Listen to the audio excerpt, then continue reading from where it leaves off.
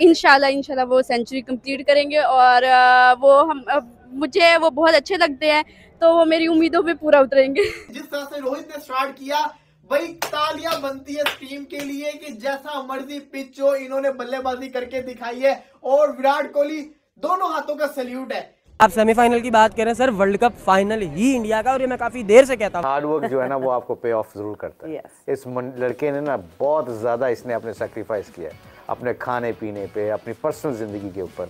और अल्लाह देता है फिर जब आप मेहनत करते हो तो अल्लाह आपको देता है। और सबसे बड़ी बात यह है जैसे हम सारे बात करते हैं कि सचिन तेंदुलकर बैठा हो जिसका रिकॉर्ड तोड़ने जा रहा है और उसके सामने बैठ के रिकॉर्ड तोड़ रहा है। और ये बड़े ओकेजन का बड़े प्लेयर ही ऐसे कर सकते हैं। क्रिकेटर नहीं बाज आएँगे।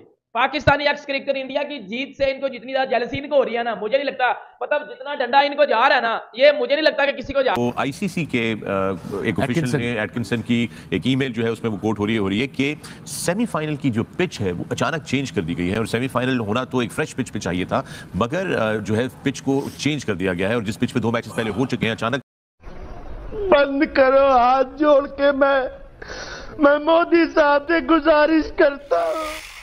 विराट कोहली ने god of cricket Sachin Tendulkar के रिकॉर्ड को ध्वस्त कर एक नया इतिहास रच दिया। विराट कोहली ने सचिन के पीछे छोड़ते हुए शतकों का अर्धशतक पूरा किया। न्यूजीलैंड के खिलाफ विराट कोहली ने अपना पचासवा वनडे शतक पूरा किया। विराट कोहली वनडे अंतर्राष्ट्रीय क्रिकेट में सबसे ज़्यादा शतक जड़ने वाले दुनिया के इकलौते बल्लेबाज बन गए हैं। ठीक है बॉलर को निकाल रहे हैं उनका करियर तबाह कर रहे हैं ठीक है पता नहीं बेचारे कितने कितनी मुश्किल से आते हैं जैसे कि हमारा हारिस रऊफ का नाम बड़ा था। विराट कोहली ने आज जो सेंचुरी मार दी है ये आज तक किसी ने भी ऐसा सेंचुरी नॉकआउट में नहीं मारा होगा।